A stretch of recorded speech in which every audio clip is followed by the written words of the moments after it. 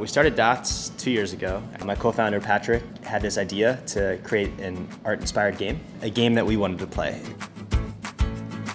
My name is Paul Murphy. I'm one of the co-founders of Dots and I'm the CEO. We launched Dots and we had a lot of downloads. Millions of people started playing this game. It was a little bit overwhelming and we had a lot of feature requests. My name's Ben Rudlin. I'm the visual designer on TwoDots at Dots. One of the hardest challenges has been trying to find that sweet spot between functionality and fun.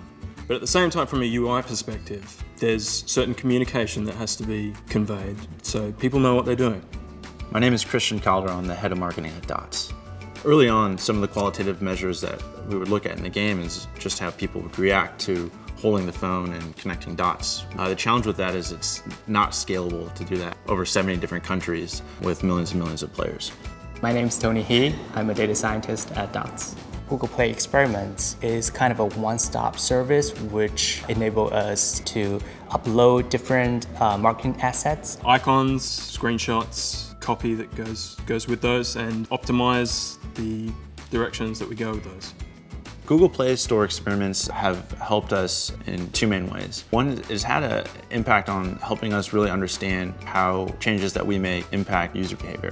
Our control, the, the icon that we had currently in the game had a white background, and we tested that with a, another icon that had a black uh, background.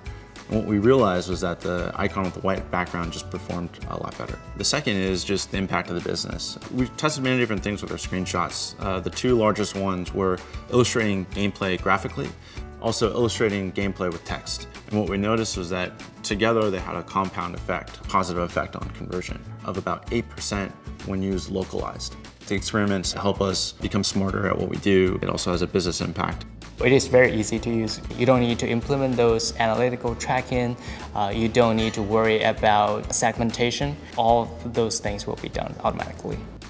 The advice I'd give to other developers is to always seek knowledge.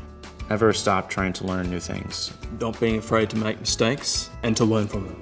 Our plan with Dots is to continue making dots-based games. We've created a mechanic that we think is unique, very creative-led. We find the creativity, we find the fun, and then we try to layer on the, the business aspects afterwards.